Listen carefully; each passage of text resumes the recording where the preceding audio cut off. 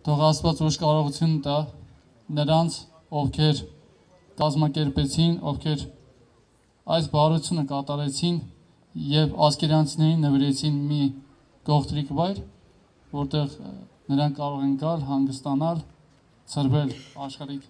հոգսերից Արթուր Սարգսակ Խոնոյանի խոսքը ասեագրված է վերակառուցված Ասկերանի կենտրոնական զբոսայգուն ու երկար սպասված այս անկյունի բարեկարգումն իրականացնողներին։ Ասկերանի հին ու արդեն նոր զբոսայգին հետ այսօր շուրջ կենտրոնի այցեքարտերից մեկն է։ Քաղաքի կենտրոնական հատվածում գտնող այս պուրակի վերակառուցման վերանորոգման աշխատանքները սկսել էին ամիսներ առաջ պետական միջոցներով, իսկ այսօր արդեն աչք շողերի տեսքով զբոսայգին դիմավորից բնակիչներին։ Ասկերանցիների համար սա տոն է համեմված ազգային երկու Ես շատ ուրախ եմ, որ մեր քաղաքում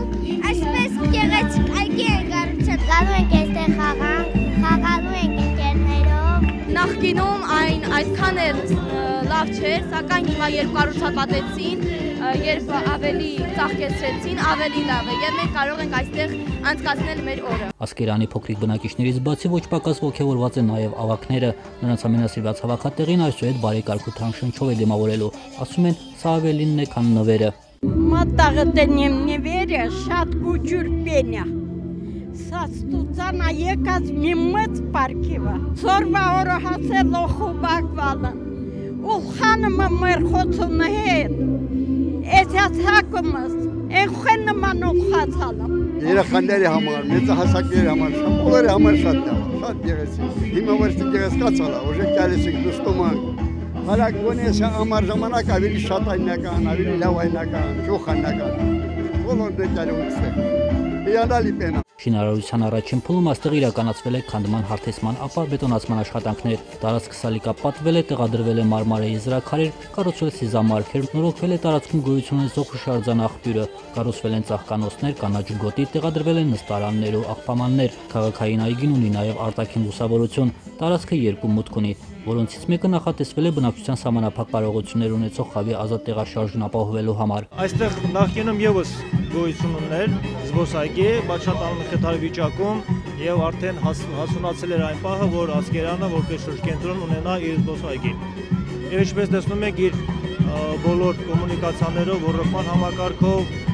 գիշերային լուսավորությամբ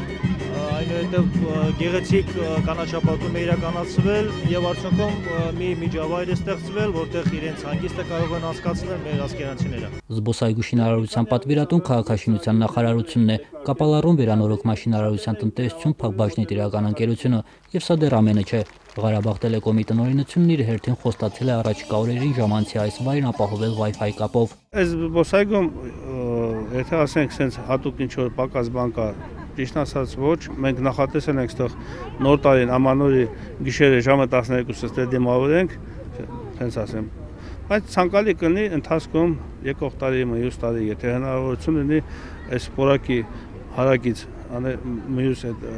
մշակույթի շենքը